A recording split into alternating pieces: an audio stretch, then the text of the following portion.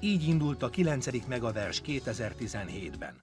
Az Abanovák Agóra Kulturális Központ és a Szónok Televízió tíz évvel ezelőtt a Költészet Napja alkalmából indította tehetségkutató versenyét, melynek célja, hogy a versszerető közönség tehetséges fiatalok értő tolmácsolásában élvezhesse a klasszikus és kortárs költők műveit.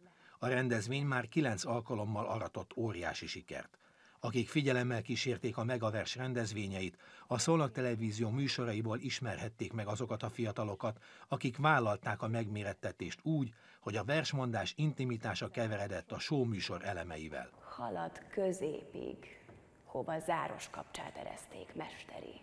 Éjfélt is a négy parti város tornyában sorra elveri, len csillagok százezeri. A szervezők, a versenyben résztvevő fiatalok, a neves színészekből és szakemberekből álló zsűri, valamint a közönség tagjai ezzel a rendezvénysorozattal kívánják megbecsülésüket kifejezni a magyar és egyetemes költészet értékei iránt. 2018-ban a tizedik versennyel jubilál a műsor. A vetélkedőt a ma élő kortárs költők tiszteletére rendezzük. A megaversre azokat 12 és 30 év közötti verset szeretők is jelentkezhetnek, akik már szerepeltek, de nem értek el első helyezést a korábbi versenyek döntőin. A zsűri által az előválogatókon kiválasztott versenyzők alkotják a középdöntő 25 fős mezőnyét. A jelentkezés történhet elektronikus úton vagy levélben.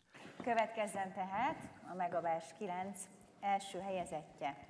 Turcsányi Zsófia.